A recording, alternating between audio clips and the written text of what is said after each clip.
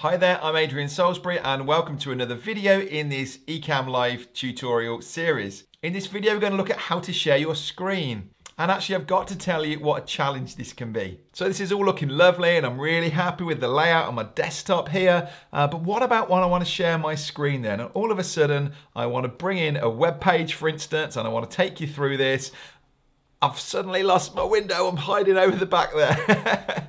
um, right, let me show you first of all that, um, let's bring this back a second. When I want to share my screen, if you remember right at the top here, we've got these different switches. You can go between just the camera feed uh, and then you've got a video file or you've got screen sharing in the middle. So at the minute, you press this once and it comes in, press it again, and uh, then it's telling me which one do I want to use. Do I want, at the minute, its entire screen. Uh, it can either be the current application or I want to say Google Chrome because that's what I'm wanting to feature. So you can see behind what's going on, but as I'm moving this around, it's a bit clunky, isn't it? Um, now, first thing I'm going to suggest to you is you probably don't need, you can jig things around a bit on your desktop. We can shrink the size of this and what happens is you can see on that window behind that depending on whether I'm making this, you know, the shape that I'm making this window will change in the view there. It will work to the, the format, the 16 by 9 shape that we've got on our view. So you can see you get to a point where you go, all right, that's about the, the biggest view I can get of it. And so it doesn't need to be full screen, it just needs to be in that shape and that format. But let's play this around with this a minute. So if I pull that further down on my screen, what I can do is I can push up this main window so it's smaller to start with. Um, and then all of a sudden, I've just got to jig a couple of these uh, tabs around on here. And look, I've, I've now managed to get away with it. There's nothing, yes, there is the sound level. We can put that up or out the way. You can move these things around. It's a total floating window. And then I've got this down here. So now I can be working on here and uh, I can still see my window at the top. Now there are a couple of things, there's quite a few things actually I want to talk to you about. Some great features. Um, you'll notice that behind there at the minute, certainly if I change this view to entire screen, doesn't look very professional because I've got some things laying around on my desktop that I didn't really want people to see. Well, if I go into my settings, which is this cog down here, and uh, screen sharing, at the minute it's defaulted to include desktop icons. Uh, watch these over here disappear when I untick it. And then actually the desktop picture itself, maybe you've got a family photo and you don't really want that there. Uh, I can untick that and it just gives me a black screen. So let's take that away again. Um, I'm going to stretch this back so that it gives me, oh sorry, it's because I'm on entire window. Let's change this back to Google Chrome.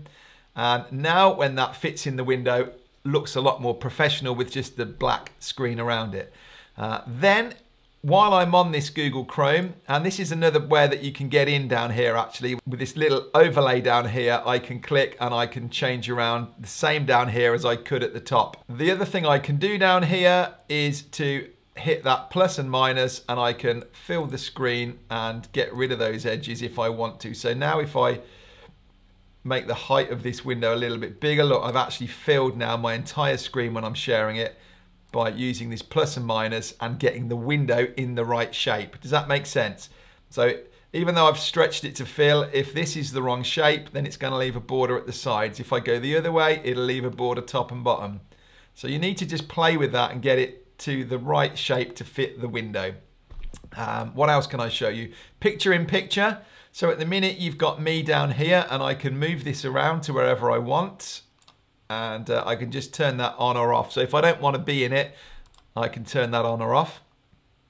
Remember that we can use scenes and uh, I'm not going to tell you now, you can go and watch the video on scenes, but we can queue up different scenes. So one would be my screen share, one would be me talking, one might be the screen share uh, without the picture in picture. So there's lots of different ways that you can preset it with the scenes. The other thing that I need to say is when you're in here and you're previewing it, yes, it means that when I'm down here, I can't see the window behind me. So you can't tell in preview, but if I actually go live now, so I can go live on Facebook to my profile and uh, only I can see it. So let's have a little go at this. If I go live, what's going to happen is the current window that I'm in you can't really see because of where it's come in, but there is this little floating window down here and I can move it around to wherever I want and I can resize it. This will sit over whatever the current application is or it will sit over the top of anything else. And that down there is a little preview of what is coming through. And I can, it's, I've got a lot packed into this. Not only can I change the size of the thing around, whoops, clicking on the wrong bit. Not only can I change the size of this around, but um, if I'd got those scenes queued up, the different scenes, and I can click on here and jump between them, uh, I can just hit on this at the minute and go between the screen sharing and come back. Um, and I can finish my recording so the fact that I can't see the actual window behind there doesn't really matter.